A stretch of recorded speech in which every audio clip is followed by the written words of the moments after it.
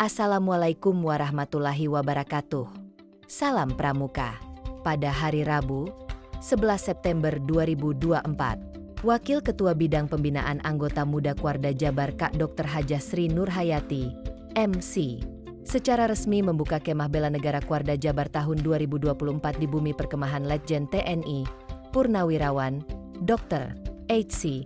Hamasyudi, Kiara Payung, Sumedang. Acara yang akan dilaksanakan selama dua hari tersebut diikuti oleh sebanyak 200 lebih anggota pramuka penegak dan pandega sejawa Barat. Dalam pembukaan turut hadir juga Wakabina Wasaka Profesor Belena Nuryanti, Wakasaka Sako dan Gugus Dharma Kak Taufik Hidayat, SPD, Sekretaris Kuarda Kak Fajar Kusuma Jaya, serta para andalan Kuarda Jabar.